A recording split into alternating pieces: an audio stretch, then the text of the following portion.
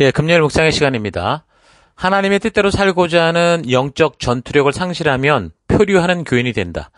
하나님의 뜻대로 살고자 하는 영적 전투력을 상실하면 표류하는 교인이 된다. 이런 제목으로 이번 주간 또 마지막 묵상 나누겠습니다. 저 어제 우리는 여호수아가 주도하는 이스라엘 백성들이 가나안 중부, 남부, 북부의 그 핵심 연합 세력과의 전쟁을 승리로 이끈 후에 이제 각 지파별로 약속의 땅 가나안 곳곳으로 나아가서 하나님의 명령을 온전히 수행해야 되는데 유다 지파의 갈렙 같은 사람들 외에는 큰 규모의 지파라고 할 수 있는 요셉 지파도 인맥과 뭐 혈연을 내세워서 쉽고 편하게 자신들의 소유를 늘리고자 하는 그런 태도들 그리고 나머지 족속들 또한 적극적으로 하나님의 명령대로 살려하기보다 자꾸 뒤로 물러서서 사명의 온전한 완수보다 편리와 타협하며 전쟁이 좀 찝찝하게 마무리되는 그런 과정들을 우리가 살폈습니다. 자, 이런 식으로 지지부진하게 마무리가 되어 가고 있어도 하나님은 신실하게 처음 모세를 통해 이 백성들에게 약속하신 것을 다 지켜주셨습니다. 그래서 여호수아에게 명하여 약속하셨던 그 도피성 도피성도 세우게 하셨고 누구든지 실수로 이, 이 생긴 일들로 인해서 뭐 복수당하거나 어, 또 억울한 죽음을 당하지 않고 온전하고 공정하게 처리받을 수 있는 그러니까 하나님이 그 율법의 가치를 통해 알게 하신 공평이 주도하는 그런 사회, 정의로운 사회를 만들어 가시죠. 더 나아가서 영적인 부분에 있어서도 레위 지파들에게 그 약속하셨던 대로 각 지파 곳곳에 이들을 배치해서 하나님의 명하신 대로 그 백성들을 하나님께로 바르게 인도할 수 있는 그 하나님 나라 백성답게 살아갈 모든 사회 구조를 온전하게 이제 세워 주시는 것을 우리가 살핀 겁니다. 자, 그래서 하나님께서 명하여 알게 하신 법도와 규례를 삶의 유일한 기준으로 삼고 살아가는 열방의 제사장 나라답게 살 수 있도록 하나님이 원래 약속하셨던 모든 것을 빠짐없이 다 지켜주신 거예요. 그럼 이제 남은 게 뭘까요? 단지 여호수아나 대제사장, 장로나 족장들과 같은 리더들만이 아니라 지금 하나님과 언약한 백성 한 사람도 이제 빠짐없이 어떻게 해요? 하나님과 언약한 열방의 제사장 나라답게 하나님 말씀대로 순종하는 그런 삶이 남아 있는 거예요. 그게 이제 우리가 오늘 이 시대를 살아가는 우리의 사명인 거죠. 출애굽 9장 19장 4절에 하나님이 뭘 처음에 약속했습니까? 너희는 내가 이집트 사람에게 한 일을 봤고 또 어미 독수리가 그 날개로 새끼를 넘어 나르듯이 내가 너희를 인도하여 나에게로 데려온 것을 보았다. 이제 너희가 정말로 나의 말을 듣고 내가 세워준 언약을 지키면 너희는 나의 보물이 될 것이다. 온 세상이 다 나의 것이다. 그러므로 너희가 내가 선택한 백성이 되고 너희의 나라는 나를 섬기는 제사장 나라가 되고 너희는 거룩한 민족이 될 것이다. 너는 이 말을 이스라엘 자손들에게 알려줘라. 이 약속으로 인해 하나님이 지금 이걸 지금까지 이루어 오시는 거죠. 그리고 드디어 이제 이게 이루어지는 거예요. 그러니까 결국 우리는 무엇으로 살아가는 거예요? 하나님의 선택한 백성으로서 하나님 나라를 섬기는 제사장 나라로서 거룩한 민족으로 살아가는 거죠. 하나님은 아브라함과 약속했던 것을 그대로 성취해 내신 거고 이제 그 약속의 주체가 된 백성들은 출애굽 이후 시내산 도착했을 때 맺은 언약처럼 그렇게 사는 그런 이제 사명의 시작의 시기가 된 거죠. 그래서 이제 죽음을 앞둔 여호수아도 이런 사실을 그 백성들에게 이제 다시 한번 각성케 해서 결단하게 하는 그런 일을 하는데 23장에는 이제 그런 여호수아의 이제 마지막 모습이 나옵니다. 그때 이제 여호수아의 나이가 110세라고 하니까 가나안 핵심 전쟁의 기간이 7년 그리고 7년 이후에 한 8년 정도의 시간이 더 흘러갔다고 볼 수 있겠죠. 그래서 이제 죽음을 앞둔 여호수아도 모세처럼 자신의 그 전 인생을 되돌아보면서 아주 중요한 교훈들을 백성들에게 말합니다. 한 사람의 인생 100년, 이 100년을 살아왔던 삶을 얘기해주는 이 지혜는 굉장히 중요한 거라고 그랬죠. 우리 인생에 너무너무 소중하게 들어야 될 귀한 교훈이 담겼다고 그랬습니다.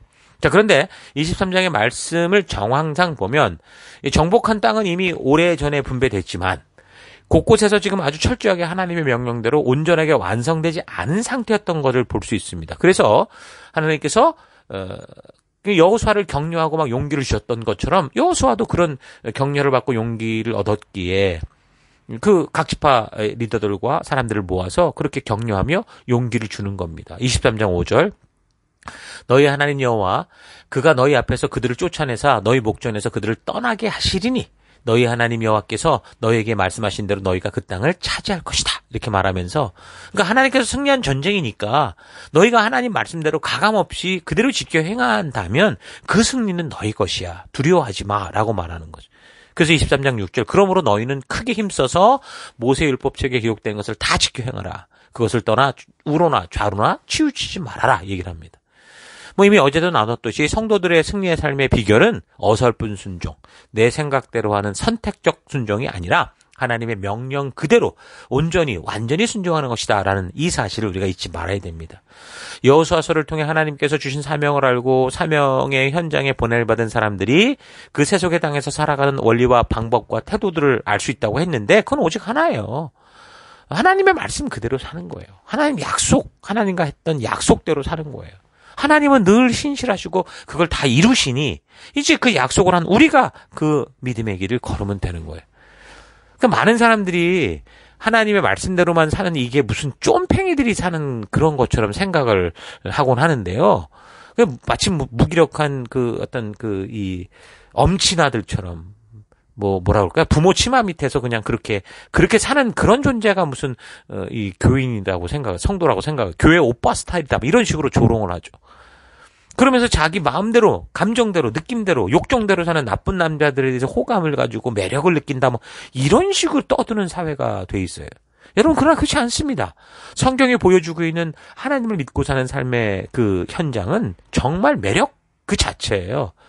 23장 10절 뭐라고 말합니까? 너희 중 한 사람이 천명을 쫓으리니 이는 너희 하나님 여호와가 그가 너희에게 말씀하신 것 같이 너희를 위하여 싸우심이라. 말 그대로 그냥 슈퍼맨처럼 살 수 있다는 거 아닙니까? 하나님의 전쟁임을 믿는 믿음의 삶, 순종의 삶을 살 때 그 순종의 삶을 살아가는 그 한 사람이 천명을 쫓아 무너뜨리는 그런 삶이 된다는 거예요. 얼마나 exciting합니까? 사람들이 뭐 가끔 자기를 과시하려고 막 뻥치느라고 내가 1대 10으로 싸워서 이겼어 어쨌어 있던 소리 하는데 정말 이 말씀대로 여기 하나님이 기록하게 하신 이 말씀대로 순종하는 삶을 살 때 우리는 일당 천 이거 완전히 extremely exciting한 그런 삶을 살아가게 되는 거죠. 그래서 23장 11절 그러므로 스스로 조심하여 너희 하나님 여호와를 사랑해라 그렇게 말하는 거예요. 여호와를 사랑하는 것은 바로 하나님의 말씀대로 순종하는 것을 말하는 거죠. 이런 말씀대로 순종하는 삶은 무슨 목줄에 매여서 그냥 얌전히 지내고 있는 그런 사냥개 같은 존재가 되는 게 아니에요. 세상에 줄 수도 없는, 세상에 알 수도 없는 크고 놀라운 역사를 만들고 이 세상의 역사를 일구어내는 선구자가 되는 거예요. 그러므로 여러분 세상에 속지 말고 유행에 속지 말고 세상의 화려함에 빠지지 마십시오. 요한일서 2장 15절 뭐라고 말하면 이 세상이나 세상에 있는 것들을 사랑하지 말라. 누구든지 세상을 사랑하면 아버지의 사랑이 그 안에 있지 않다. 그 여러분 성경은 언제나 우리에게 변함없는 사랑의 말씀을 합니다. 세상에 나쁜 남자 여러분 흉내내지 말고 어, 세상에 나쁜 남자 좋아하지 말고 여러분 스스로 주 안에서 하나님의 말씀에 같이 따라 살아가는 새로운 피조물답게 하나님의 거룩한 백성 다윗과 같은 다니엘과 같은 귀한 삶 살기를 바랍니다. 상황과 환경이 나를 만드는 게 아니라 우리의 선택이 어떤 상황과 환경 속에서도 하나님의 백성답게 살게 한다라는 이 하나님의 거룩한 이 약속과 진리를 잊지 말고 그 길을 따라가기를 바라요. 그래서 성도로서 하나님의 백성답게만 살겠다고 하는 이 결단이 너무 중요한 거예요. 여수아가 애굽에서 태어나서 110년을 살고 주님 앞에 가기 전에 그래서 그럼 이런 얘기를 하고 있는 거예요.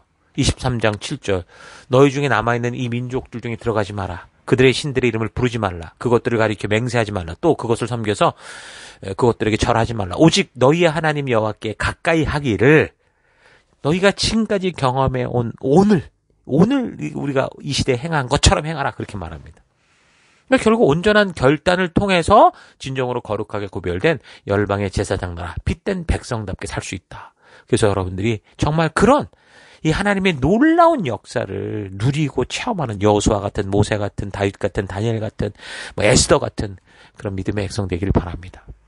땅을 분배받고 자신들의 적들과 싸우는 과정에서 이스라엘 족속들이 이런저런 어려움을 이야기하는 거를 통해서 사람들이 그렇잖아요. 사람 뭐 이게 힘들어요. 저게 힘들어요. 그러면 우리가 참 많이 공감해 주고 그러는데 근데 그 중에 우리 악함과 약함을 여러분 혼돈하지 말아야 돼요. 이스라엘을 속였던 기부원 족속 알죠? 기부원 이 족속들이 약해 보였지만 사실은 악한 존재였잖아요. 그 악 속에서 결국 여호수아의 염려와 같이 이스라엘 민족이 우상숭배에 빠지는 그런 일이 벌어지고 말았어요. 우리는 우리의 몸을 죽이는 작은 바이러스, 작은 암덩어리 세포 하나를 철저하게 죽이기 위해서 비싼 돈을 들여서 병원에 갑니다. 암세포가 거의 죽고 이제 없어지고 조금 남아 있게 됐대. 야 이거 참 불쌍해 보이는데 그냥 둡시다라는 의사 봤습니까? 어, 아니 그 조금 얼마 남았으니까 그냥, 그냥 살래요. 그런 환자 봤습니까? 아니죠. 그 죄가 그런 거예요. 우리 영혼을 죽이는 암세포거든요. 그래서 우리는 우리의 삶 속에 만연한 이 죄를 철저하게 버리고 어, 하나님의 말씀을 따라가는 거룩한 삶을 살아가야 되는 거예요. 그러기 위해서는 죄가 살아갈 수 있는 그런 환경을 용납하거나 받아들여서는 안 되는 거죠. 그래서 여러분들이 세상의 유행을 따라 가 살아가지 말라고 그렇게 이제 단축해서 얘기를 하는 거예요. 세상에 그 술 먹는 장소, 뭐, 뭐, 춤추는데, 이런데, 거기 가면 무슨 거룩한 모습이 있습니까? 거기서 다 술과 마약과 그, 그, 그, 그 음욕과 이런 게 다 터지고, 모든 사건이 거기서 나오지 않습니까? 여러분, 그래서 우리는 그렇게 세상의 것들을 즐거워하고 기웃거리는 롯의 딸들과 같은 이런 삶의 태도를 완전히 없애야 돼요. 이 죄의 모습은 정말 진멸해야 됩니다. 그래서 우리 서로 죄에 대해서 철저하게 깨끗할 수 있도록 노력합시다. 부분적인 순종이 아니라 선택적 순종이 아니라 하나님이 말씀하신 대로 온전히 순종하는 완전한 순종을 우리가 해야 돼요. 그렇지 않으면 망해도 속히 망할 거다 이렇게 말합니다. 23장 16절. 만일 너희가 너희 하나님 여호와께서 너희에게 명령하신 언약을 범하고 가서 다른 신들을 섬겨 그들에게 절하면 여호와의 진노가 너희에게 미치리니 너희에게 주신 아름 땅에서 아름다운 땅에서 너희가 속히 멸망하리라. 여호와께서 주신 땅, 그 구원의 땅, 축복의 땅에서도 속히 멸망할 수 있다라는 게 여호수아서를 통해서 하나님께서 분명하게 말씀해 주시는 성도들의 현실이에요. 죽음의 이집트를 떠나도 그 죽음에서 떠났는데 노예에서 떠났는데 광야에서 죽을 수 있고 천국이 아니라 가나안 문턱에서 또는 그 가나안 땅 안에서도 멸망당할 수 있다라는 게 성경의 말씀이죠. 그러니까 우리가 구원을 받았다고 해서 아무렇게나 살아도 결국은 천국에 갈 수 있는 철밥통을 얻었다. 이건 완전히 아니라는 거죠. 멸망한다는 이, 이 말의 영적인 개념은 뭘까요? 모든 것이 폭삭 무너지고 다 힘들어지고 망하는 그런 거라고도 말수 있겠지만 영적인 개념으로 볼 때 이 하나님의 백성으로 멸망했다라는 것은 어떻게 보면 세상에서 잘 되고 있다라는 것일 수도 있어요. 하나님의 뜻과 말씀대로 순종한 게 아닌데도 하는 일마다 승승장구하더라. 거짓말을 해도 하나도 안 걸리더라. 사기를 쳐도 오히려 잘 되더라. 대충 살아도 그냥 살만하더라. 이런 거는요, 완전히 영원한 멸망으로 가는 사탄의 유혹에, 함정에 완벽하게 빠진 겁니다. 여러분들은 오직 여호와를 사랑하며 그의 말씀을 사랑하여 그대로 행하며 살아가는 그런 백성으로 부름받음을 잊지 마십시오.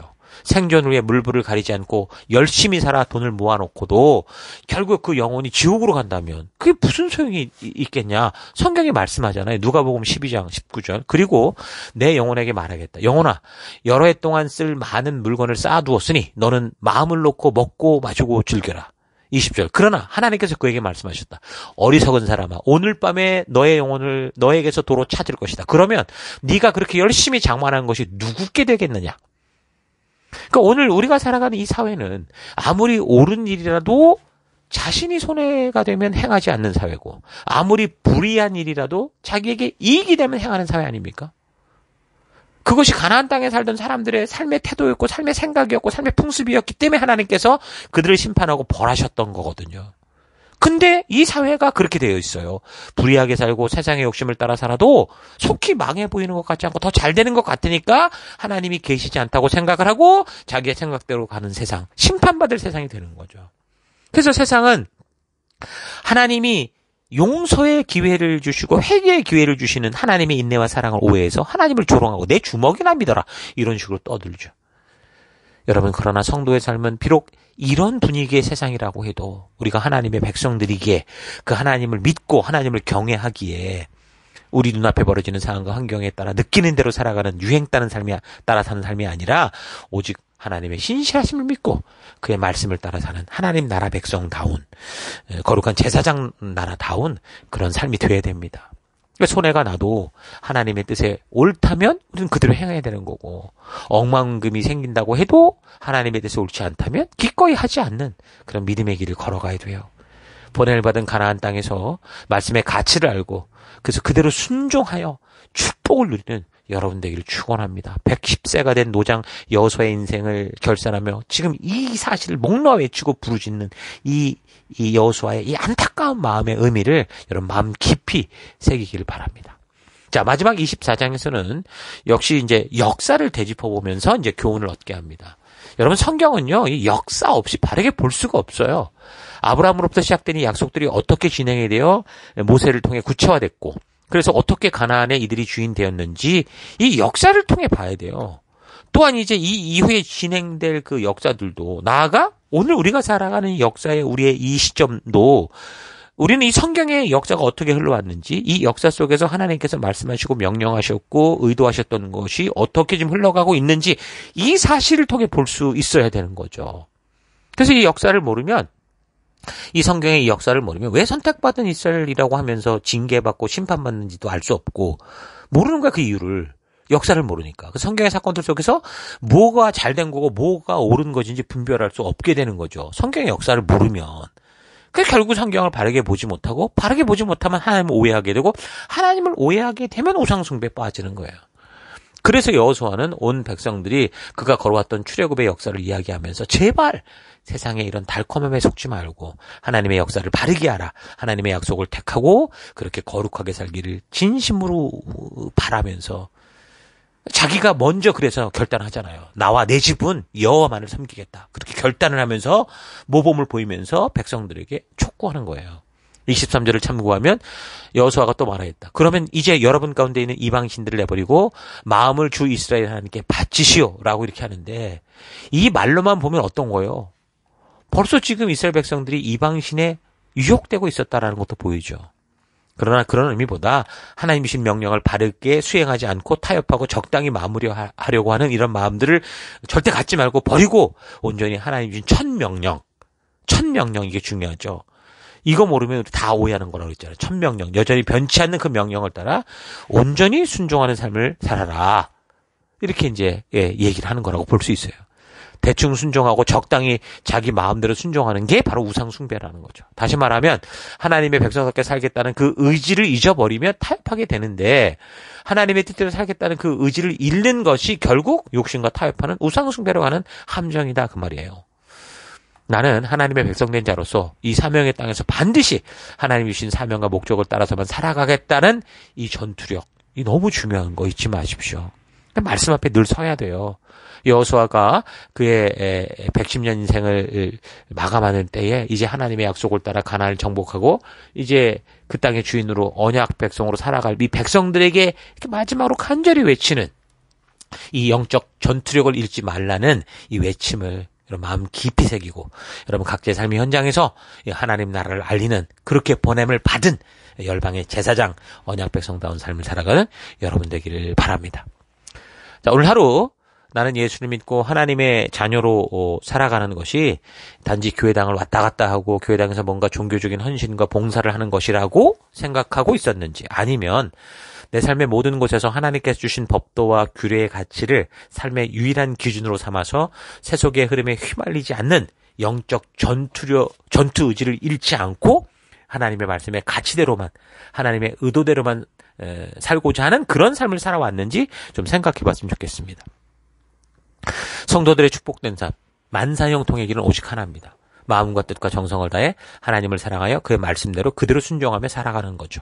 그런 영적인 전투 의지가 중요한 거예요. 그래서 그런 하나님의 뜻대로 살고자 하는 영적 의지를 주는 가장 중요한 에너지인 이 성경 말씀을 피상적으로만 가지지 말고 또 정보로만 알고 있지 말고 성경책을 차 뒤에 뭐 부적처럼 놓고 다니지 말고 또는 스마트폰에만 집어넣고 다니지 말고 새 언약을 약속하신 대로 이 말씀을 가슴에 품고 마음에 품고 삶에 품고 하나님의 뜻이 자신의 모든 삶을 주도하고 이끌어가는 삶을 살아가야 되는 겁니다.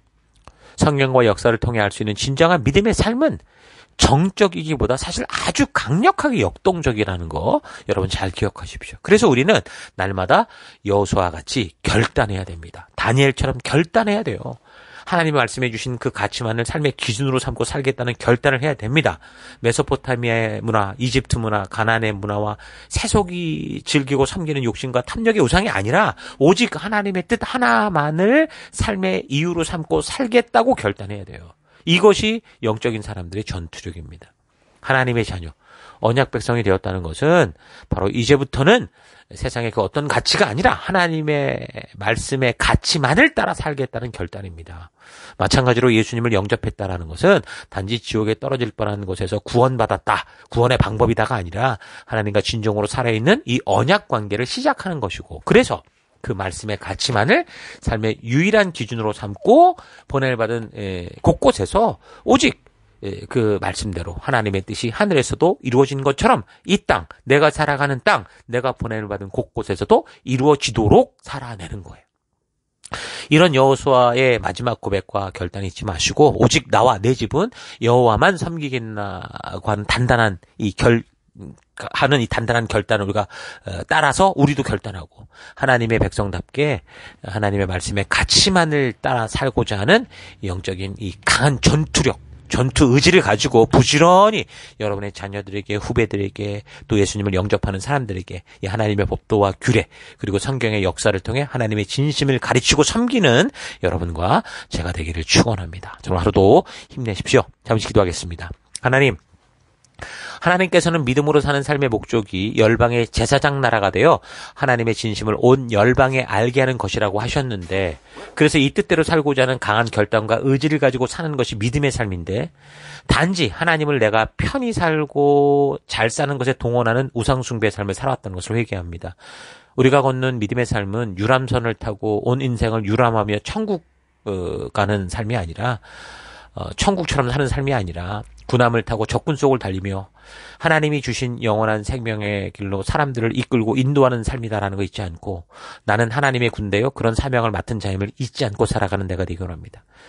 날마다 잠잠히 하나님을 바라보는 이유는 그저 조용히 성경을 가지고 돛닦는 인생이 되려고 하는 게 아니라 오히려 하나님의 뜻이 이 땅에서 반드시 이루어지게 하려는 영적인 전투력을 상승하게 하는 것이다라는 거 잊지 않고 나의 묵상과 말씀과 함께하는 시간이 나로 하여금 다윗과 같이 다니엘 같이 갈렙 같이 여호수아처럼 하나님의 뜻대로 살고자 목숨 걸을 수 있는 강한 결단과 결심의 시간들이 되기를 원합니다. 하나님 그래서 어, 하나님의 뜻대로 살고자 하는 이 연, 적 전투력 잊지 않고 이거를 어, 표류하게 되는 것 잊지 않고 주님 주님 주신 약속을 따라 항해해 나가는 그런 하루 그런 오늘 되길 원합니다. 그런 길로 인도하시고 이끄신 하나님 감사드리고 예수님 이름으로 기도했습니다. 아멘.